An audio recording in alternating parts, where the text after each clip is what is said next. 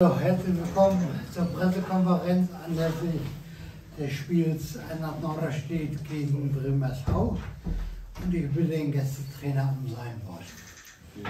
Ähm, ich denke unterm Strich ein leistungsgerechtes 0-0 und dem Tabellenstand auch entsprechendes 0 0. Ähm, ich denke, es war kein Fußball-Leckerbissen. Beide Mannschaften haben sich ein bisschen schwer getan mit, mit dem Ball. Wir vor allen Dingen in der ersten Halbzeit ähm, haben kaum Ideen entwickelt, wirklich uns äh, Torchancen herauszuspielen. Ähm, da haben wir versucht, äh, in der zweiten Halbzeit äh, oder in der Halbzeit dann etwas umzustellen, weil das Spiel einfach zu statisch war in der ersten Halbzeit. Also war sehr erwartbar, ähm, was wir vorhaben. Daher hat das Norderstedt gut wegverteidigt, haben wir in der Halbzeit was umgestellt, äh, ein bisschen was angepasst, was die Positionierung angeht hatten dann ja, mehr Spielanteile, äh, die wir aber jetzt auch nicht wirklich in äh, zwingende Torchancen herausspielen konnten. Ähm, ja, ich denke, beide Mannschaften waren eher, wenn dann über den ruhenden Ball äh, gefährlich oder haben sich was erhofft. Ähm, daher denke ich, äh, ja, eine, am Ende 0-0, äh, den Punkt nehmen wir mit ähm, und dann äh, greifen wir am Wochenende wieder an. Vielen Dank. Danke. Dann bitte ich unseren Trainer um sein Wort. Ja, ähm, wir sind nicht zufrieden, auch vielleicht am Ende nicht, nicht zufrieden mit dem Ergebnis, sondern nicht zufrieden mit, mit dem äh, Gesamtauftritt. Ich glaube, wir haben, haben deutlich höhere Erwartungen an unser Spiel mit dem Ball gehabt. Ich glaube, die Möglichkeiten waren da. Ähm, wir haben heute nach Ballgewinn nicht immer die richtigen Räume gespielt, nicht immer glückliche Entscheidungen getroffen, nicht zwingend genug gewesen. Und äh, was Großchancen angeht, auch einfach sehr chancenarm das Spiel gestaltet nicht immer zwingt und die Momente, die wir hatten, äh, sind dann versprungen, ähm, leicht den Rücken gespielt wurden und dass wir das akzeptieren müssen, dass äh, wir weiter dran sind, weiter dran arbeiten, unser Spiel mit dem Ball, Spiel auch zum Tor aus einem geordneten Spielaufbau besser zu gestalten, um Gegner mehr vor Probleme zu stellen. Trotz alledem ähm, haben wir auch gute Eigenschaften heute an den Tag gelegt. Die Mannschaft war gewillt, äh, war leidenschaftlich und auch bereit, ähm, gegen den Ball viel zu investieren. Ich glaube, auf beiden Seiten jetzt nicht die allergrößten klaren Toraktionen, deswegen sicherlich auch äh, am Ende des Tages äh, ja, schon fast äh, unattraktives 0-0, ähm, wo wir jetzt mit dem Punkt leben müssen und hoffentlich unseren Zuschauern am Wochenende dann nach dieser englischen Woche mit wieder viel Belastung äh, mehr Möglichkeiten, äh, äh, wo, sie, wo sie aufstehen dürfen und dann auch jubeln dürfen und wir uns über drei Punkte dann hoffentlich am Sonntag freuen dürfen. Ähm, hier zu Hause äh, vorbereiten würden. Danke. Fragen? Ja, ich hätte zwei, Johnny. Ähm, die eine, also wir hatten gerade noch Janik Knutzvoll interviewt, der meinte zum einen, es wäre ein gewonnener Punkt, weil ihr Bremen auf Abstand gehalten habt. Würde ich wissen wollen, ob du das auch so siehst. Und die zweite Frage, gerade zweite Halbzeit, äh, Knitsch hat es ja schon angesprochen, hatte Bremen noch einiges an Spielanteilen. Janik meinte halt, ihr habt bewusst gesagt, ihr spielt tiefer, weil er ähm, nicht so die Bälle hinter die Kette zulassen wollte. Da wollte ich noch die Anschlussfrage stellen, ist es auch irgendwie eine Kraftfrage, dass ihr dann nicht Angriffspressing, war das der einzige Grund, dieser taktische, oder ist es auch eine Kraftfrage, weil englische Woche, dass man dann nicht so früh drauf geht, weil er ja doch zweite Halbzeit doch relativ viel Spielanteil dem Gegner, auch wenn der jetzt nicht groß gefährlich wurde, äh, überlassen hat? Ja, ich denke, dass wir, dass wir ähm, das auch als Mannschaft und auch im, im, Kollektiv genauso in der zweiten Halbzeit auch umgesetzt haben mhm. wollten. Wir hatten in der ersten Halbzeit nicht immer Zugriff auf deren Spielaufbau, ähm, sodass wir dann auch ganz klar gesagt haben, wir haben gesehen, wie sie agieren wollen, wo der Ball vom Torwart dann auch letztlich landen soll und wollten diese äh, dann zweiten Bälle etwas gezielter vorbereiten. Ähm, das war von uns schon auch gewünscht. Ich glaube mhm. nicht, dass es eine Kraftfrage ist. Wir könnten okay. jetzt darüber reden, dass wir einen Tag weniger Pause hatten als der Gegner. Ja. Dafür hatte der Gegner eine intensive Anreise. Ja. Ähm, ich glaube schon, dass man gemerkt hat, dass das sicherlich auch aufgrund dessen in der Schlussphase die Wechsel auch waren, wo wir wirklich gute Fußballer und Leistungsträger durchtauschen mussten, ähm, ein Faktor ist. Aber äh, sicherlich geht es darum, auch, auch eine neue Dynamik ins Spiel zu bringen durch die Wechsel und durch die Optionen, die wir dann hatten. Deswegen fand ich uns in der Schlussphase auch griffig und gut. Mhm. Hinten raus nicht immer sauber und klar.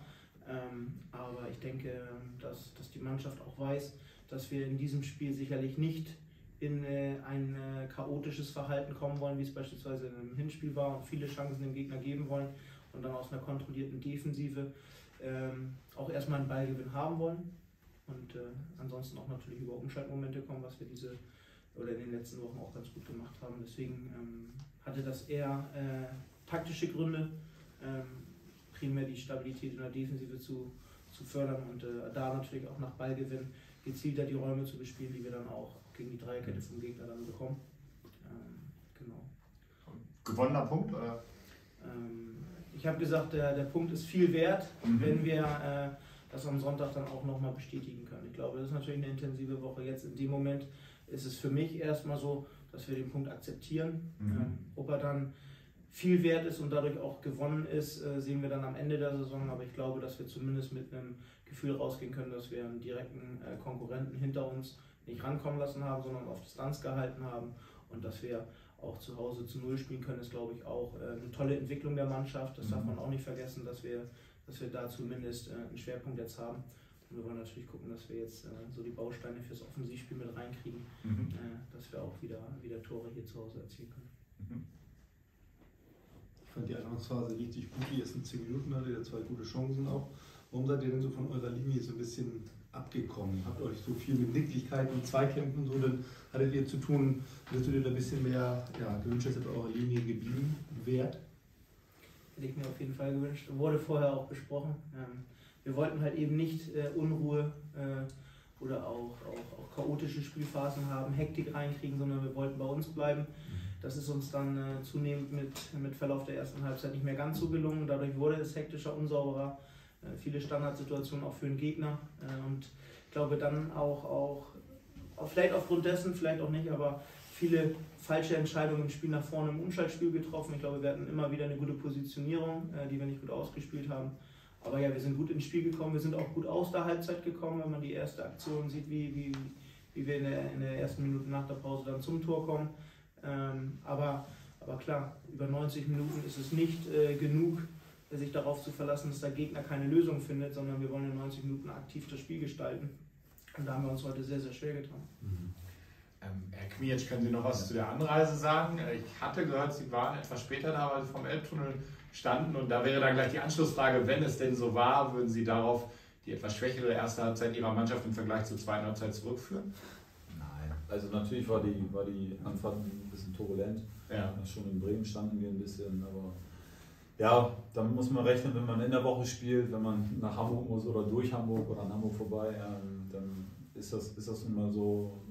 Unsere Jungs sind ja, überwiegend berufstätig, da ja, ging es auch nicht, dass wir vorher losfahren. Ähm, ja, der Schiedsrichter hat uns angeboten, ähm, dass wir ein bisschen später anfangen. Aber war alles soweit okay, war ein bisschen kürzerer, ähm, ja, war ein bisschen, kürzeres äh, ja, eine bisschen kürzere Vorbereitung, aber ist alles am Ende, am Ende ist das so okay. Ähm, von daher weiß nicht, ob das jetzt ein Argument sein kann. Natürlich waren auch die Rahmenbedingungen, ähm, der, der Platz, äh, bis die Jungs sich daran gewöhnt haben, ähm, das ja, brauchen wir ein bisschen. Ja, aber, aber alles okay. Alles okay. Äh, zweite Halbzeit, das, das, worauf wir aufbauen können. Letzte Woche haben wir vier Stück gefangen. Ähm, spielen jetzt auswärts 0-0, von daher ist das auch eine positive Erkenntnis für, für unsere Mannschaft. Kurz nachfragen, wann waren Sie denn am Stadion? Um welche Uhrzeit?